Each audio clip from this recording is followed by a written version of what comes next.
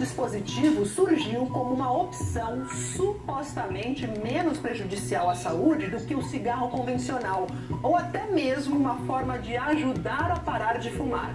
Bom, mas com esse discurso enganoso que se mantém até hoje, o cigarro eletrônico virou sensação nos últimos anos. Tem sido usado livremente em bares, festas e até escolas. Mas na reportagem especial de hoje, o doutor Drauzio Varela vai mostrar que essa moda é, na verdade, uma armadilha e vai explicar também o que está sendo feito para combater o que especialistas já classificam como uma epidemia de nicotina entre jovens. Pode ser que você já tenha visto uma cena dessas em um bar ou na rua mesmo sem sair de casa ouvindo música na internet. Afinal, eles estão em vários videoclipes. São os cigarros eletrônicos, vaporizadores, vapes. Os nomes variam em função de detalhes, como quanto liberam de aerossol ou se são mais ou menos potentes. Os mais comuns são recarregáveis, menorzinhos, conhecidos como pods. Todos são dispositivos eletrônicos para fumar. Vêm com essências docinhas ou mentoladas, mas quase todos contêm nicotina. A nicotina líquida é aquecida dentro desse dispositivo né, e ao dar uma tragada forma-se um vapor. Só que para formar esse vapor é necessário que se insira substâncias que não existem no cigarro tradicional. O usuário de cigarro eletrônico ele aumenta em 42% a chance dele ter um infarto. O adolescente que usa cigarro eletrônico, ele aumenta em 50% a chance dele ter uma asma. Nessa escola estadual da Zona Leste de São Paulo, a volta às aulas após o isolamento da pandemia trouxe uma novidade. Alunos usando vaporizadores, educadores preocupados, pais sem saber como convencer os filhos a sair dessa. Reunimos esse grupo de estudantes para bater um papo. Como eles são menores de idade, não vamos identificá-los. O que você acha que o cigarro eletrônico pegou desse jeito? Então é porque é uma coisa nova, né? Os jovens hoje em dia gostam muito de modinha, né? Entre os seus amigos, de cada 100, quantos fumam eletrônico? 90. Meu primeiro encontro com o cigarro eletrônico, com o pod, foi numa balada, tinha um sabor, era de morango. Acabei experimentando, no começo achei bem forte. Essas essências que eles colocam diminui a irritação que a fumaça causa quando passa pela garganta. E aí você consegue puxar uma quantidade muito mais alta, muito maior de fumaça. Você fuma quantas vezes? Depende muito da quantidade. Tipo, ah, de 1.500 puxa. Se eu se eu usar os 1.500 puxa, acabou. Dura em torno de umas 3 horas. Você tem noção de que isso é uma dose muito alta de nicotina? Não. Isso que a aluna da escola chamou de puxa é a mesma coisa que tragada. Em média, um cigarro comum oferece 15 tragadas. Um maço teria então 300 tragadas. Logo, um vaporizador de 1.500 tragadas seria equivalente a 5 maços. Mas a comparação não é tão simples assim, porque um cigarro comum no Brasil tem no máximo 1 miligrama de nicotina. Isso é regulamentado pela Anvisa. E os diversos tipos de pod, hoje vendidos ilegalmente e sem fiscalização, podem entregar muito, mas muito mais nicotina. Eu tenho muita ansiedade, então quando eu fumava eu sentia que diminuía um pouco. Mas eu também sentia meu peito apertado, eu chiava muito porque eu tenho bronquite. Então eu sentia que atacava minhas crises. E você parou por quê? Parei porque eu estava sentindo que eu estava usando mais inalador do que eu usava antes. Por causa da asma? Por causa da minha asma. E foi fácil parar? Não, não foi. O que, que você sentia? Eu sentia, minha ansiedade duplicou, eu sentia minha mão suar, eu ficava com crise de ansiedade muito forte, chorava toda noite. Quantos dias durou essa crise de abstinência? Acho que por volta de um mês também. Um mês? Não tinha hora que dava um desespero, mano? Dava, até hoje, de vez em quando dá. E você, causou algum problema? Sim, causou vício. É, e com o tempo eu acabei precisando trocar o pote pelo cigarro. Com o consigo me controlar mais, o pod acabava saindo muito caro. Sempre quando eu tento parar, eu acabo tendo uma crise de abstinência mais forte. Você sabe por que acontece isso? Porque a concentração de nicotina no pod é muito mais alta do que no cigarro. E quanto mais alta é a quantidade de nicotina que a gente fuma, maior é a chance de desenvolver dependência mais depressa.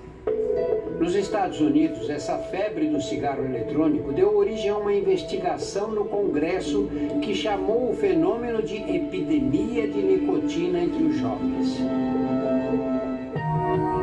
O documentário Cigarro Eletrônico Como Tudo Deu Errado, produzido pelo New York Times, conta a história da Juul, empresa que dominou esse mercado, oferecendo uma alternativa para fumantes adultos que tentavam se livrar do vício.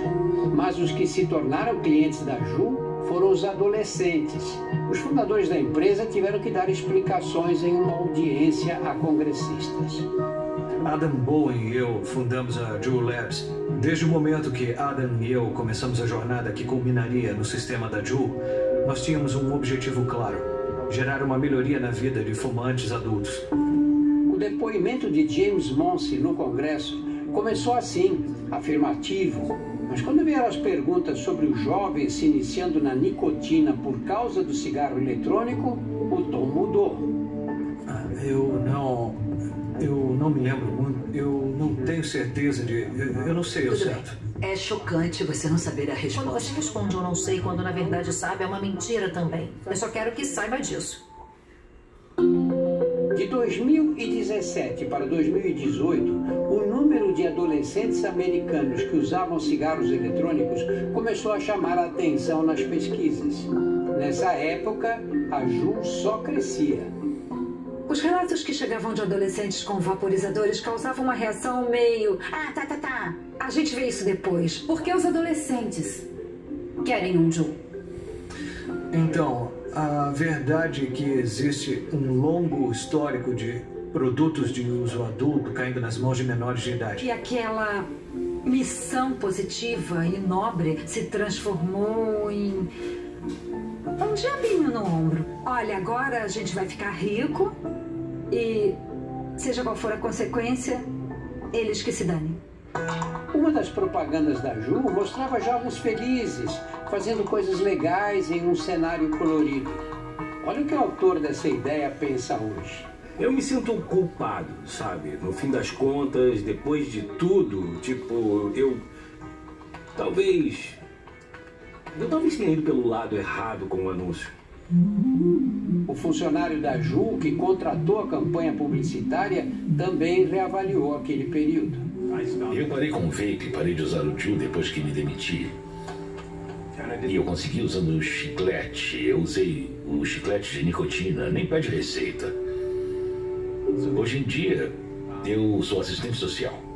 Eu trabalho como psicoterapeuta com adolescentes em risco, com menores e jovens adultos. Estou devolvendo a moral, devolvendo a ética para minha própria vida. O documentário está disponível no Globoplay. Minha mãe pegou meu Ju. Em Araguari, Minas Gerais, o estudante de medicina Igor decidiu parar de fumar cigarro de palha com a ajuda do eletrônico. Isso em dezembro do ano passado. Que diferenças você notou em você quando começou o eletrônico? Doutor, para ser bem sincero, não senti nenhuma diferença até ficar doente. No começo de março eu tive uma pneumonia eu não conseguia andar 5 metros sem cansar. Aí eu cheguei no hospital, fiz uma tomografia e o médico já me internou na hora. Eu fiquei 10 dias na UTI, sendo 5 deles entubados. É comum vocês verem casos assim, um rapaz saudável, sem nenhuma debilidade imunológica, tem um quadro tão, tão rápido desse jeito? Não, não é, não é mesmo. Começou com uma infecção bacteriana, a, a pneumonia se instalou e o quadro é, se alastrou por todo o pulmão, muito provavelmente facilitado, ajudado por esse, por esse hábito de inalar esses gases tóxicos que vêm junto com o cigarro eletrônico. Na fabricação do cigarro eletrônico, eles colocam ácidos para formar sais de nicotina. O principal é o ácido benzoico. porque assim conseguem administrar doses de nicotina muito mais altas do que aquelas existentes no cigarro comum.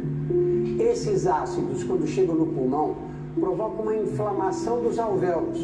Os alvéolos são aqueles saquinhos microscópicos onde o sangue troca gás carbônico por oxigênio.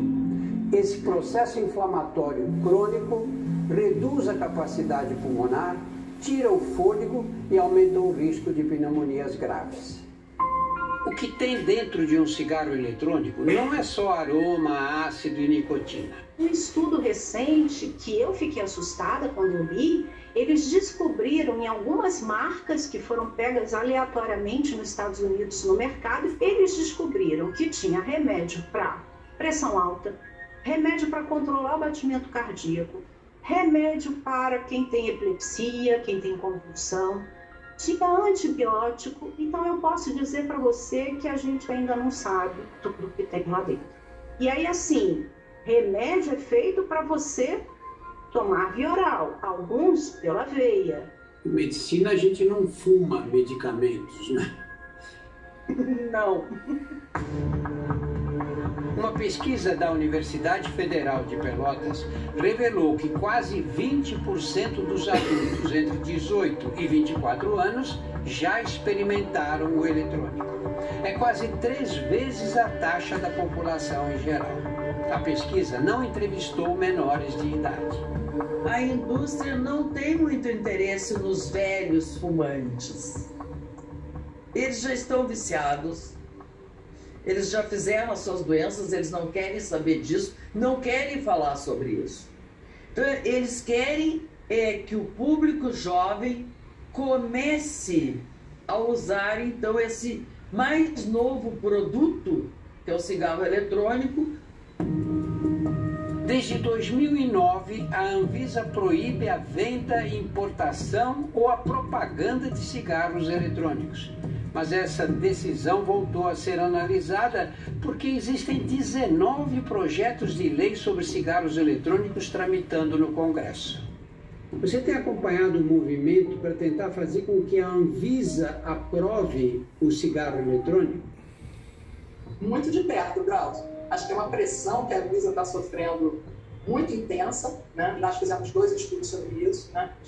Adolescentes que começaram a usar cigarro eletrônico tiveram uma, uma probabilidade três vezes e meia maior de experimentar um cigarro comum e de quatro, mais de quatro vezes de começar a usar regularmente um cigarro comum.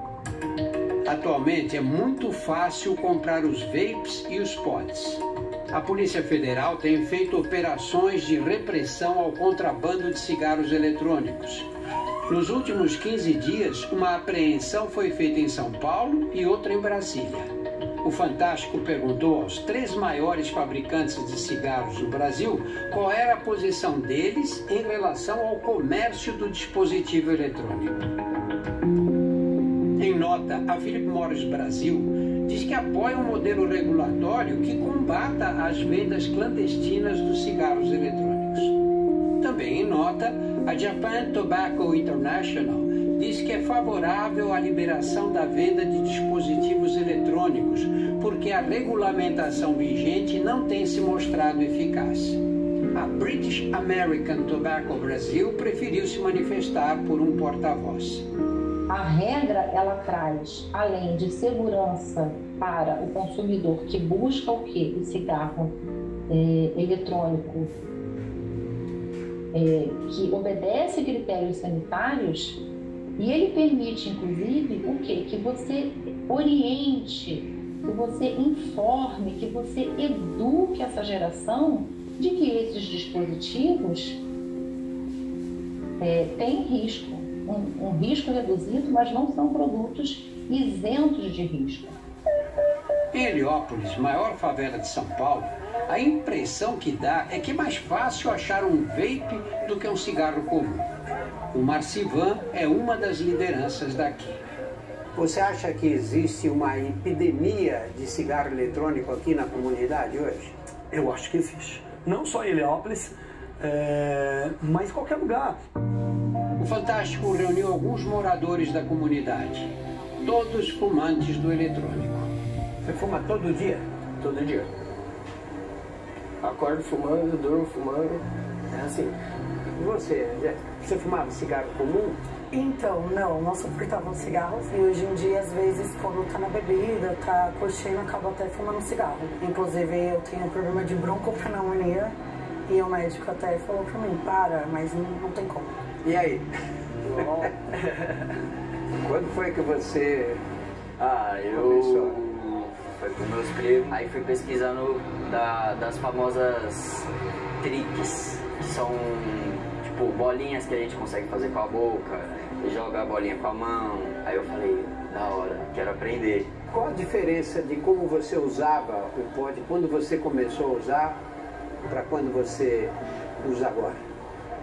A diferença foi que só aumentou a quantidade. Um exemplo, tipo, eu gosto de jogar videogame, eu tô jogando videogame lá enquanto eu tô fumando. Porque, tipo, acelera. Tem vezes que eu me estresso, aí eu pego o pod e já dá uma maneirada, aí eu consigo jogar, consigo continuar o jogo. A nicotina, você, ela provoca crise de abstinência em minutos às vezes. Aí você dá uma tragada, você sai do inferno para o paraíso. Não, não é verdade? Em segundos. E sabe por que que acontece isso? Porque ela- você joga ela no pulmão, né? Você joga ela no pulmão, para onde ela vai parar? Ela, pulmão, ela vai para o coração e de lá é espalhada pelo corpo. Sabe quanto tempo leva para ela chegar no cérebro? 6 a 10 segundos. Por isso é que o alívio é imediato. 6 a 10 segundos. Toda droga que tem uma ação rápida vicia muito. Olha o crack. Por que, que o crack joga a pessoa na sarjeta? Porque é fumada. E o cigarro eletrônico é essa armadilha. A pessoa perde a liberdade dela de escolha. E, isso tem que ficar claro para as pessoas. A síndrome de abstinência traz irritabilidade, traz insônia, traz dificuldade de concentração. Será que a gente precisa disso nessa sociedade? É uma escolha nossa. Os cigarros eletrônicos foram criados com a desculpa de que ajudariam os fumantes a ficar livres do vício. Os estudos mostraram que não é verdade. Eles nada mais são do que dispositivos para administrar nicotina, a droga que provoca a dependência química mais escravizadora. Eu sei porque senti no corpo. Eu fumei dos 17 aos 36 anos. Todo esforço que nós fizemos para reduzir o número de fumantes será perdido. Estamos criando uma legião de dependentes de nicotina e de fumantes passivos que ficarão com os pulmões doentes, agredidos pela fumaça dos que fumam os eletrônicos.